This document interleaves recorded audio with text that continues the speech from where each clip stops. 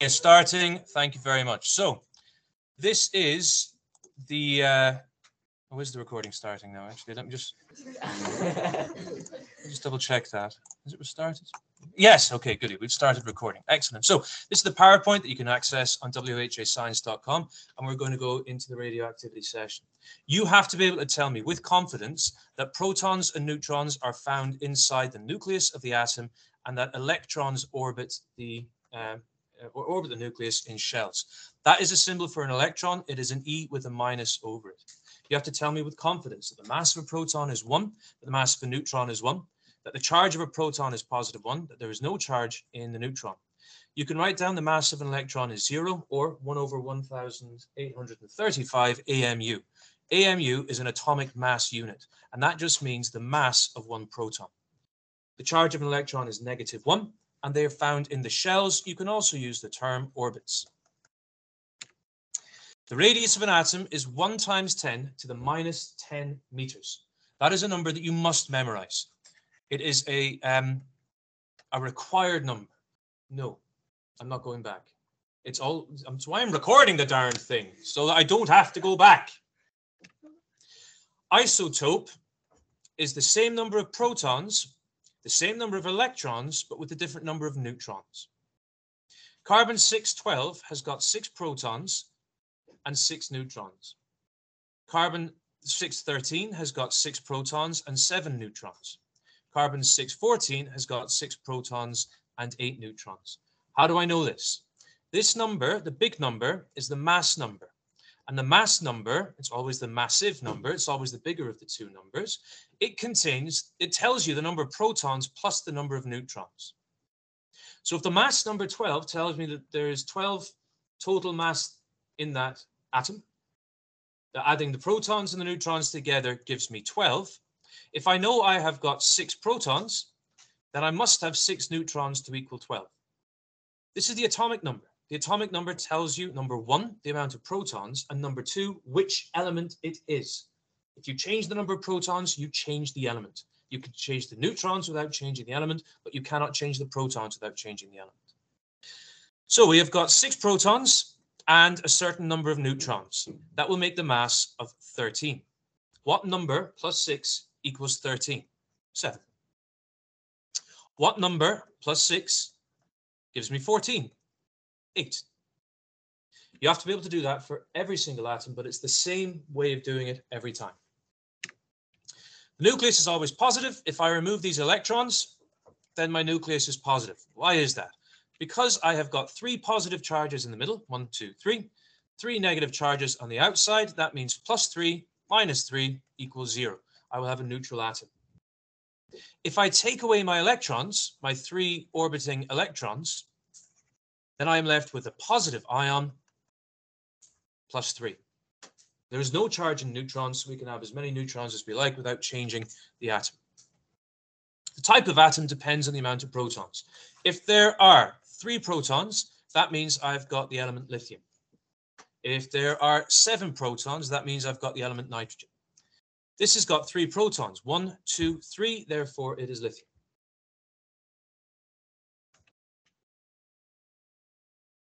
Electrons are arranged in orbits, energy levels, or shells.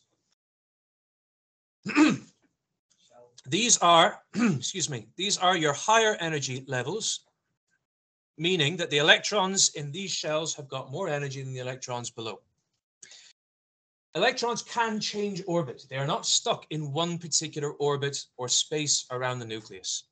If they absorb, which means take in, or emit, which means release, EM radiation, my electrons can either jump up or fall down electron levels.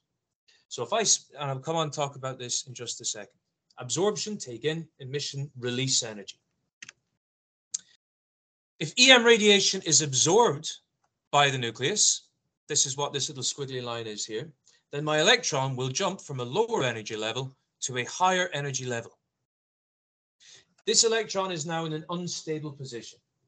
This electron will now want to release energy. The way that atoms can do that is by releasing electromagnetic radiation. Radio waves, microwaves, infrared radiation, visible light, ultraviolet, X-rays, or gamma rays. Yeah, singing in your heads. Gnarly. As it loses energy, the electron goes back to its original energy level and it releases energy. Sorry, I've just had a very shocking thought. Let me just hmm. bet you any money i have got no microphone recording me. Oh my bet God. you any money. Oh, maybe just let's have a look. Let's just have a little look here. How do I do this? No, don't tell me. Um, um, um, device settings, speaker. Micro okay, now I do have a microphone. Yep. Prop, prop. Scared me for a bit. Okay. Explain how atoms may form positive ions by losing their electrons. Currently, this atom has got four positives, one, two, three, four positives, and four negatives orbiting in the shells. That is a neutral atom. It is neutral because plus 4 minus 4 equals 0. The charges cancel each other out. However, if I put enough electron, if I put enough energy into this atom, my electrons aren't just going to jump to a higher shell, they're going to completely leave the atom. When that happens, I am left with plus 4 minus 3 electrons, plus 4 bits of charge on my protons, minus 3 bits of charge on my electrons, meaning that overall I will have a positive ion. This is the danger. If, if you get hit by radiation and any of your atoms ionize, then they become radicals in your body that can cause damage. Okay, that is not nuclear radiation. What we were just looking at there is electromagnetic radiation. We're now looking at nuclear radiation. Nuclear radiation, funnily enough, comes from the nucleus. The nuclei of some atoms are unstable. To become more stable, the nuclei give out radiation. This is called radioactive decay. When a parent nucleus releases some kind of nuclear radiation, it becomes more stable. We call an we call the original atom that before it has become stable, the parent um, nucleus, the resulting, the, the, the, the atom that is resulting at the end, so they've released the proton and they've, they've, uh, they've gone down the, the um, the periodic table. Uh, we call that the daughter nucleus. Don't confuse this with the parent, uh, with the daughter cells in mitosis. It's not a daughter cell, it's a daughter nucleus. Different radioactive isotopes decay at different rates and emit different types of radiation. Alpha, beta, and gamma radiation cause nucleons to be ejected from the nucleus, causing an ion to be formed.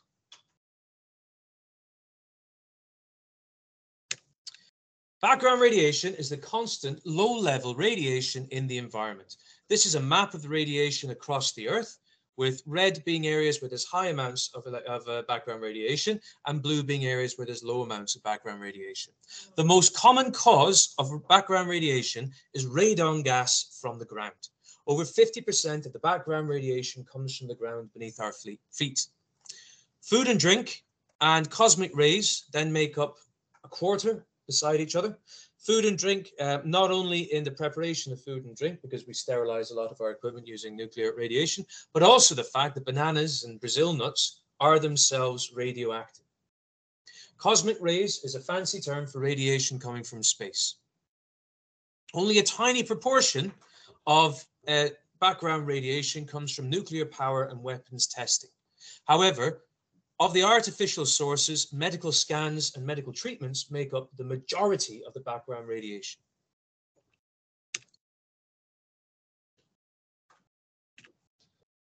How do we measure and detect radioactivity? On the bottom left there, you can see a photograph being taken of a nuclear explosion.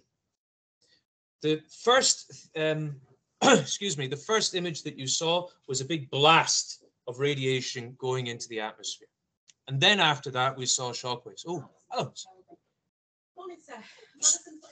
Oh, oh, yes, of course. It's absolutely fine.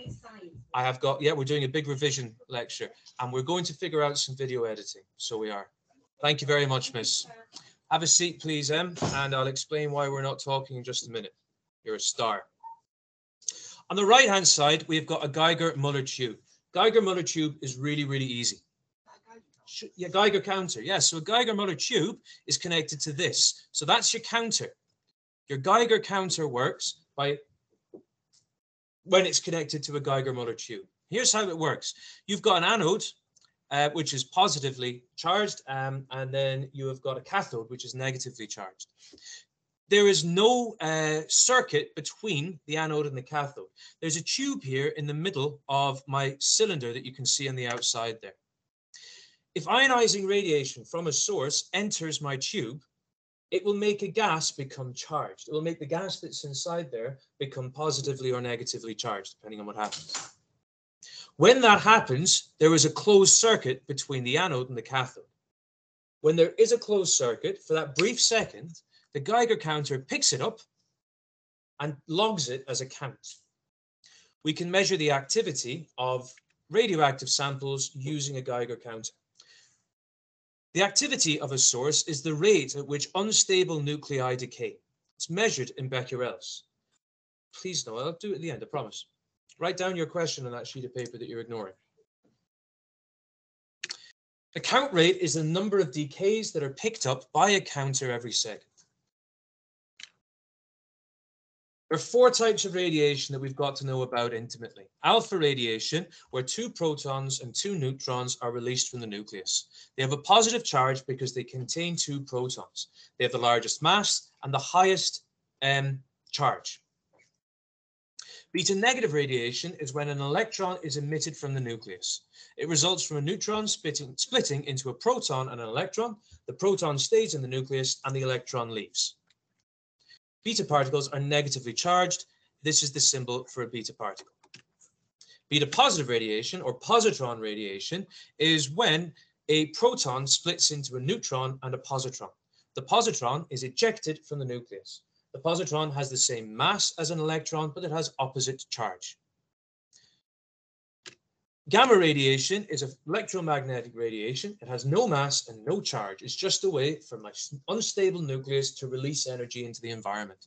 Gamma rays, because of their makeup, are able to penetrate through almost any material, uh, but because they have no charge, they're not as dangerous. You'll recognize, recognize this from nuclear equations, but that is the symbol that we use for alpha radiation because if I have two protons and two neutrons in the nucleus, surrounded by two electrons, that is a helium atom. Now, what's released from the nucleus? Two protons and two neutrons, but no electrons. During alpha radiation, two protons and two neutrons are released, but no electrons. So therefore, this isn't a helium atom, but a helium nucleus. How do we remember this? A student asks the teacher to go to the toilet. Can I go pee pee? asks the student. No, no, says the teacher. What? No pee? That makes me sad. Fine, says the teacher. Pee now. That made the student happy because he was able to not be in class. Alpha radiation consists of two protons and two neutrons. Being sad is a negative emotion. So beta negative radiation, neutron turns into a proton and a negative electron. Being happy is a positive emotion. So in beta positive radiation, a proton turns into a neutron and a positive electron or a positron. A positron is just a positive electron. Oops. Alpha, beta, and gamma radiation can penetrate different materials because of their different nature. If they have got more charge, then they are going to ionize more. Ionization is the dangerous thing. Ionization is what kills you, is what affects you. Alpha radiation, an alpha source, has got a short range of only about five centimeters in air. Alpha radiation can be stopped by paper. Beta radiation is medium ionizing, so it is dangerous. It can penetrate paper and it is only blocked by an aluminium plate.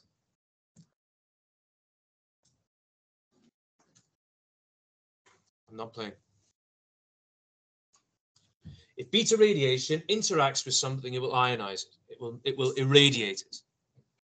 If this was hitting living cells and not a lead block, those cells would be being damaged by the beta radiation that's being released. Gamma rays can penetrate paper and aluminium, but they will be stopped by a lead block. They will not ionize the lead block easily. There is some ionizing power in gamma rays, but not a lot.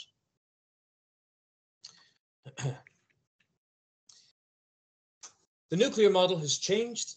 we know that the nucleus is an you know is part of the atom, but our understanding of the nucleus changed over time. Before the discovery of the electron, atoms were thought to be tiny spheres that could not be divided. When we discovered the electron, we realized that actually there are two different parts to my atom. It was decided that we had little negative bits inside a big positive cloud. It was given the term the plum pudding model. A plum pudding is like a chocolate chip cookie or a scone. It was like pastry with little plum bits stuck inside of it. So the plum is the negative stuff. We later on discovered that was wrong when J.J. Rutherford fired alpha particles at a, a gold foil screen, and those alpha particles were either bent around or penetrated, or pardon me, bent around or um, or, or, or bounced back after hitting the gold foil, we realized that there must be something inside the atom that is really dense with lots of mass and is positively charged. That's how we knew the nucleus existed. Um, chap called Niels Bohr then discovered that electrons orbit nuclei at different um, energy levels and figured out that electrons orbited. There is a video on my YouTube channel that goes through that in great detail if you'd like to watch it. It's riveting. No P makes you sad. Neutron splits into a proton, uh, proton and electron. Uh, neutron splits into a proton and electron. P now happy. A proton splits into a neutron and a positron. you will be asked, guaranteed, 100%, to look at one of these nuclear equations. When a particle undergoes alpha radiation, then there are two protons released from the nucleus. Those two protons that are released from the nucleus will decrease the proton of the parent nucleus. Pardon me, this is my parent nucleus here. Will decrease the, um, the proton number of the parent nucleus by two, making the daughter nucleus have two fewer protons. In the nuclear equation, we will then add on to my daughter nucleus the symbol for the type of radiation that occurred. Then we have to look at the numbers and see if they add up. 2 plus 92 equals nine, uh, 2 plus 90 equals 92. 4 plus 234 equals 238. This atom here, in, in this example, is undergoing beta negative radiation. So a neutron is turning into a proton and an electron. The neutron stays behind, which means the mass number hasn't changed. However, we have an extra proton. The symbol for beta negative radiation is 0e minus 1. Minus 1 plus 7 equals 6. 0 plus 14 equals 14. In gamma radiation, there is no change in the proton number or the atomic mass. So there will be no change to the parent nucleus. The same protons, same neutrons, and same electrons.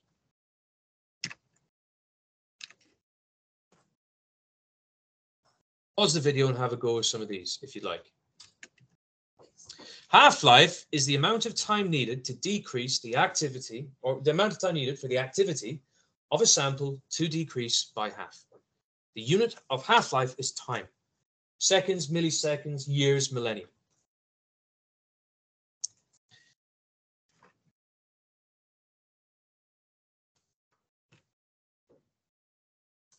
Radio, radioactive decay is a random process. It's random, but it's predictable. If I have a large enough sample of nuclei, I can predict the time it will take for half of those nuclei to decay. It's the amount of time it takes for half of the number of nuclei that are there to decay or for the activity to decrease by half. If you know the start and finish count rate, then you can figure out the amount of time that has passed by for the rate or the activity to have decreased by the amount that it has. This is an example of a particular isotope. The count rate of an isotope is 1008 becquerels. It falls to a count rate of 126 over a period of 21 days. How do I know how many half-lives? How, how do I know the length of that particular half-life? Well, I start off with 1008 becquerels. It takes one half-life unit of time for that number to decrease by half. It'll take another half-life unit of time for that number to decrease by a further half, and another half-life unit of time for that count rate to decrease by a further half. There were three half-lives in those 21 days. If there are three half-lives in those 21 days, then each half-life took seven days. So the half-life of the isotope was seven days. You can also use a graph. If you're given a graph showing the activity rate of a particular sample, you can figure out the half-life from that graph. Look at what the original activity was. Here, my original activity was 200 counts per minute. What is half of that activity? Half of 200 is 100. I will draw a line from 100 until the intercept on my graph. I will then draw a line down to the time to see how many hours, minutes, days, years, millennia it has taken for the count rate to decrease by half. In this case, it is 1.2 hours. Now, if we're right, and if, if this graph is true, if I draw another line at 50, then only 1.2 hours should have passed on this graph.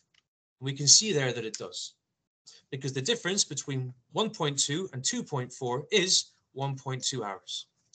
I could do that again if I wanted to.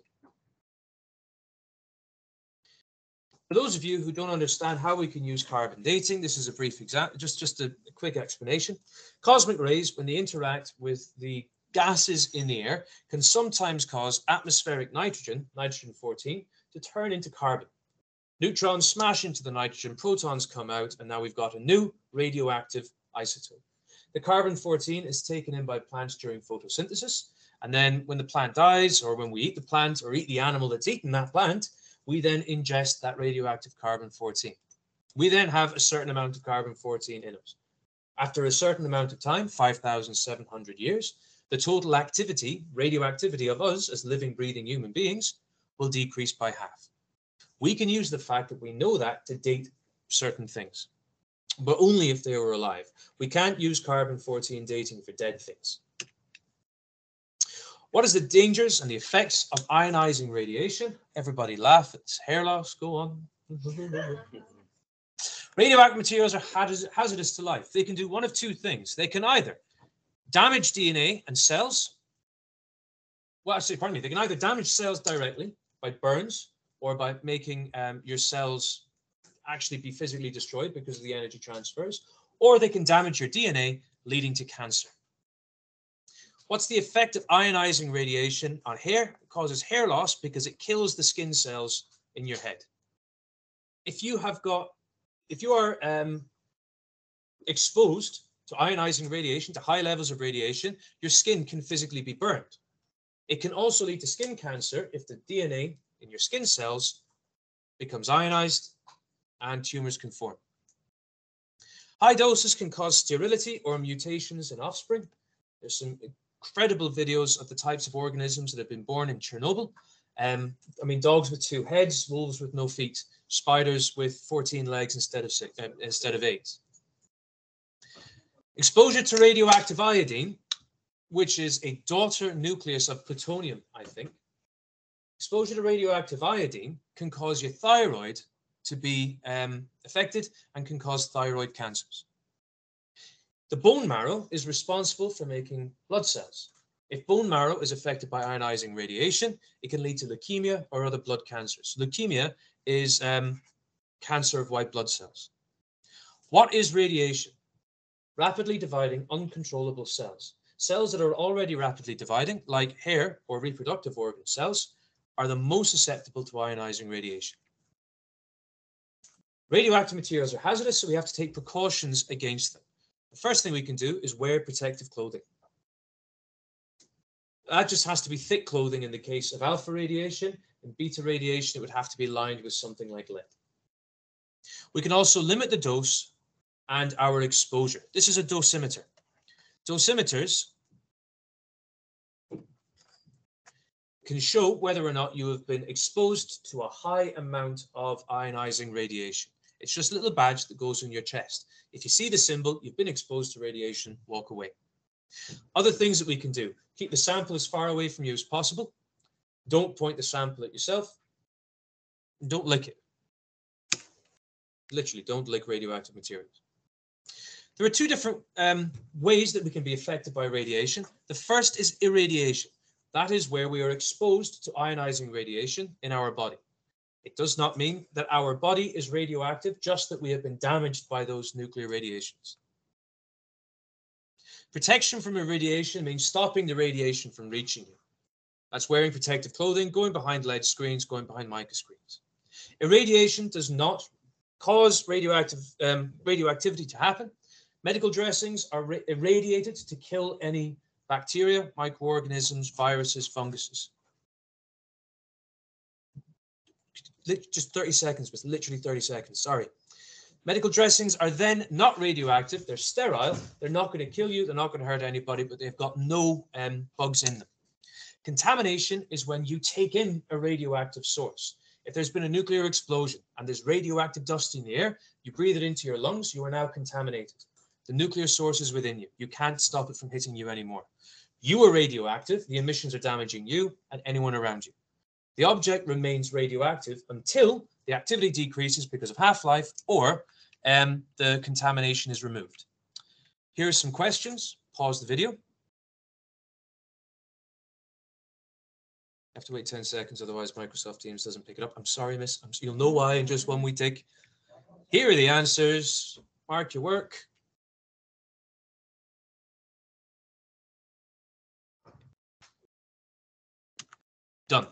Okay. So the password for this one to get um, points is turn up purple.